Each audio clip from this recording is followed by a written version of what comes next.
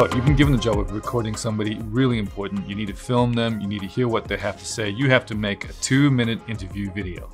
So everything's set, the camera's rolling, crew are all ready, and you ask the first question, and guess what? They get really nervous and they can't, they get really nervous. So the camera's rolling, you ask the first question, and guess what? They get really nervous and they can't string a sentence together. What do you do?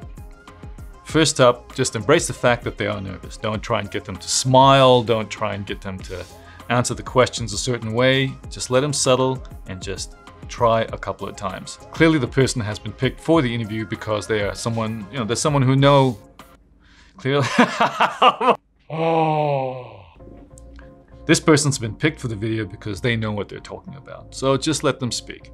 Don't try and get them to say things one way or another. Just let it come out naturally. And make sure that the only person in the room really is the producer or the director and the cameraman. Number two, don't try and engage every single person with that video. That person has something very specific to say, so let them be really specific. If it's a really technical subject, let them get really technical about it. This is really important. Don't give them the questions beforehand and definitely don't give them the answers. What you'll find is that the person will try and deliver pre-scripted answers, and that only makes things worse. How many questions should you ask them in the interview? Should it be five, six, seven, or eight? I'd say generally speaking, ask them fewer questions and make them really, really specific.